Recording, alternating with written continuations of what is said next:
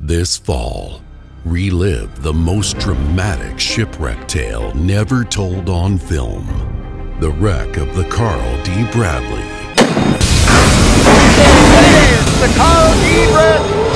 Watch the crew's desperate attempt to save themselves.